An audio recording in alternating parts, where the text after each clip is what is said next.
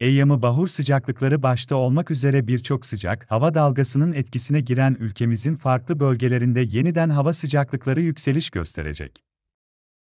Doğu ve Güneydoğu Anadolu bölgelerinde etkili olan hava sıcaklığı etkisini Fethiye'de de göstermesi bekleniyor.